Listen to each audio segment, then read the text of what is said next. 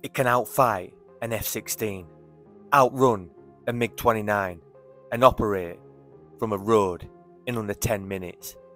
But here's the real shocker this fighter jet costs a fraction of its competitors, yet somehow still dominates the battlefield. So, how did Sweden, a country with a fraction of the budget of superpowers, create one of the most advanced multi role fighters in the world? More importantly, why our Air Force is now looking at this jet as the perfect war machine for the modern battlefield. It's not just about speed or firepower. The Gripen might just be the most strategic fighter jet ever built. Welcome back to the war.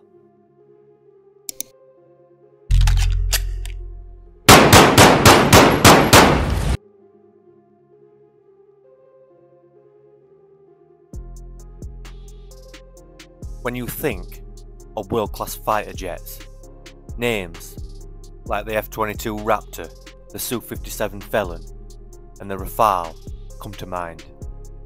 But what if I told you that a Swedish aircraft, that's right, Swedish, is one of the best pound for pound fighters ever built?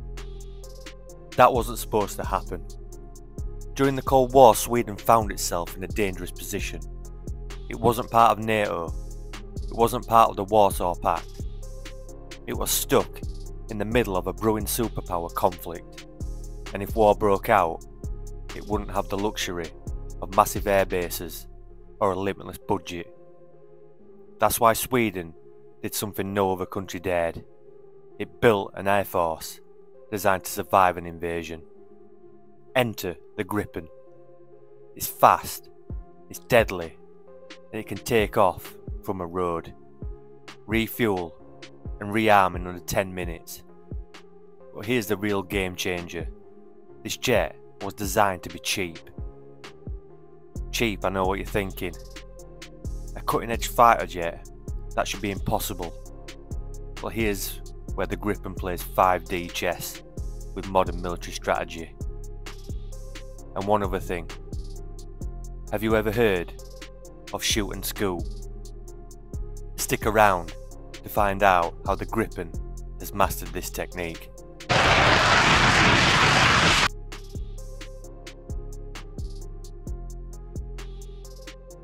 Imagine you're an enemy pilot flying an F 35 Lightning.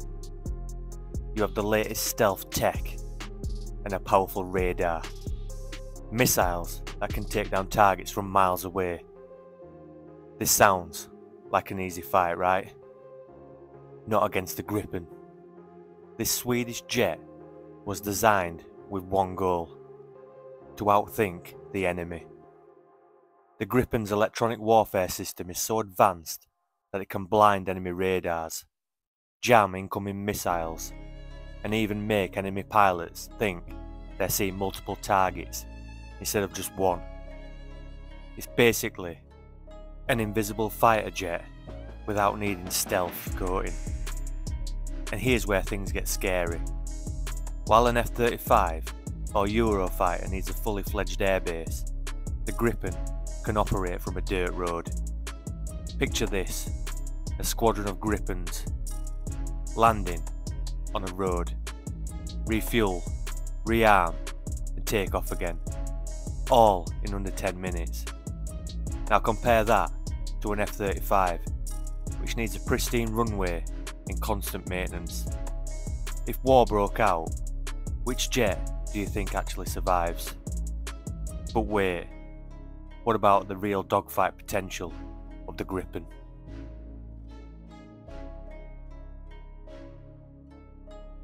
Here is a challenge for you. Pick one fighter jet for a life or death dogfight. You can take the legendary F-16 or the Swedish underdog the Gripen. Which one do you choose?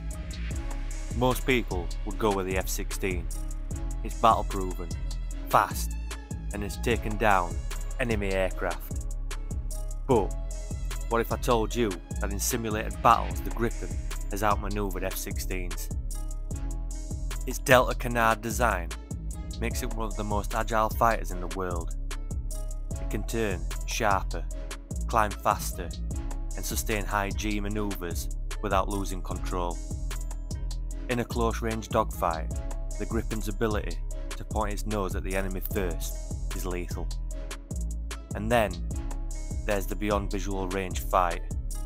The Gripen's radar and electronic warfare systems mean that it can detect and fire first, a massive advantage in modern air combat.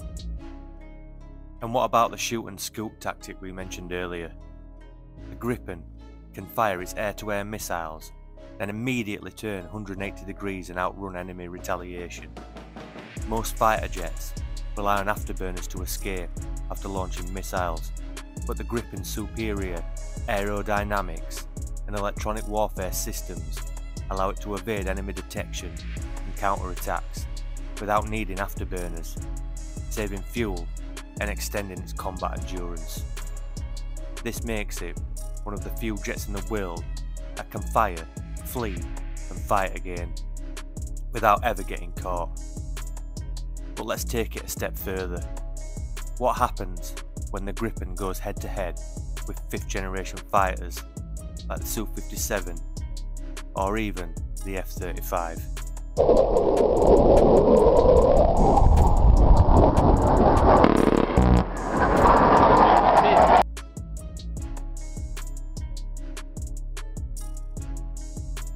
world is obsessed with stealth.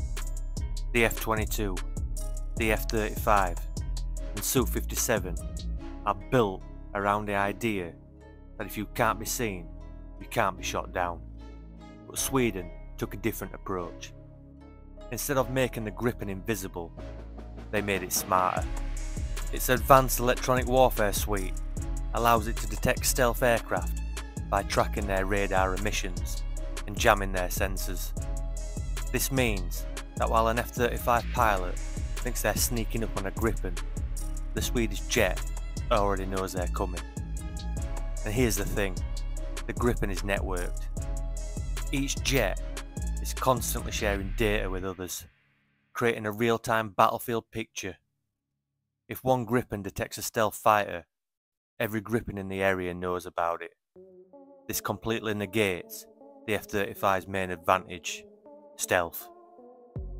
At a fraction of the cost of an F-35, could the Gripen actually be the smarter investment for modern air forces? But before you answer that, let's talk about something that's been long overdue. Our new membership program and exclusive merch. If you're enjoying this breakdown of the world's deadliest war machines, you'll love our exclusive content.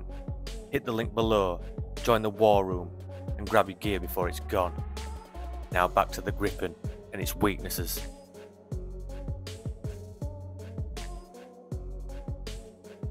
For all its advantages, the Gripen has one major problem. It lacks numbers. Unlike the F-16, which has over 4,000 units in service worldwide, the Gripen fleet is relatively small. This means that while it's an amazing jet it's not mass produced in the same way as its American or Russian counterparts. And here is where things get complicated. Many countries want the Gripen, but the politics of military contracts often favour bigger defence companies like Lockheed Martin and Boeing. In other words, the Gripen should be more popular, but international deals and lobbying often push countries towards more expensive alternatives. So will we see more Gripens in the future? Well here's another twist. The Gripen Next Generation is already in development, featuring even more advanced sensors, better range and enhanced combat abilities.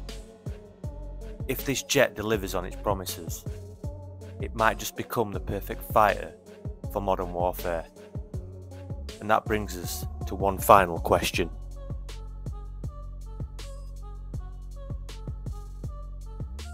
The Gripen was built for survival.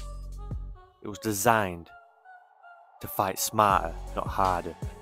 And as war evolves, with drones, electronic warfare, and AI driven battles, the Gripen's philosophy might just be the future of aerial combat.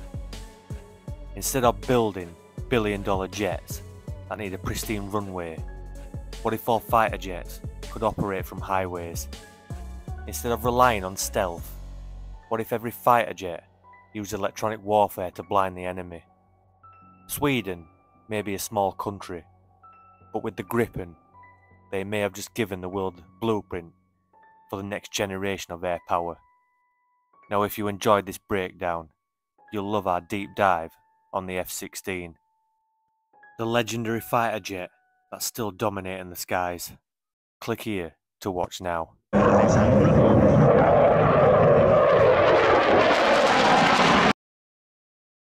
Hi soldiers, thanks for watching. Don't forget to like, subscribe and leave your thoughts in the comments. And don't forget to check back in again soon. That's an order.